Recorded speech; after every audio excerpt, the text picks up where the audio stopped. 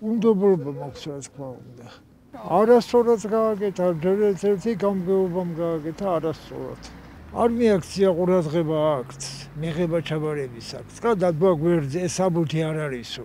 საშუალო დონეზე ქემიდის არც ისე კარგია, კარგათაა საქმე, როგორც ვატყობთ სასამართლოში. სათანადოდ არ არის დონეზე ჯერ კიდევ აკვია, აკვია დახვეწვა აკვია. კეთესი იქნება რომ დაი დაიხვეწოს და არ იყოს ბუდმივი გამწესება მოსამართლეების. შიდა და შიდა არის გასასამართლებელი რომ თქვა რომ კარგად მუშაობენ და რამე, მაგრამ არის ზოგ-ზოგი რაღაცები, რაშიც მოისუსტებენ რა, რომ არ არის კანონი რა კანონიც უნდა იყოს. ზოგადად ყველაფერი ხომ გამოიწვია ხალხის უმრავლესობით და უმრავლესობა ჩემი აზრით 95% არ არ ეთანხმება სასამართლოს, არ აქვს ნდობა, არ აქვს მათი რომ რაღაცა რომ მოხდეს და მიმართონ სასამართლოს ის ვერ დაეხმარება, იმიტომ რომ პრაქტიკაში ხდება ესეთი შემთხვევები, რომ უმეტეს შემთხვევაში გამოაქვთ არასწორი შედეგი. ესე რომ მე პირადადაც ესე სისტემით რო შევაფასოთ 10-დან ალბათ ჩემი ნდობის ფაქტორი იქნება 3.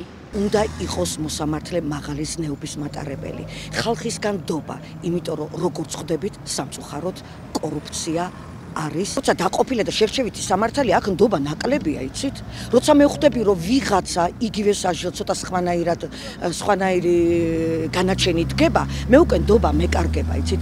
და უნდა იყოს ნდობაზე დაყრდნობილი. ამაზე ძალიან დიდი მნიშვნელობა აქვს.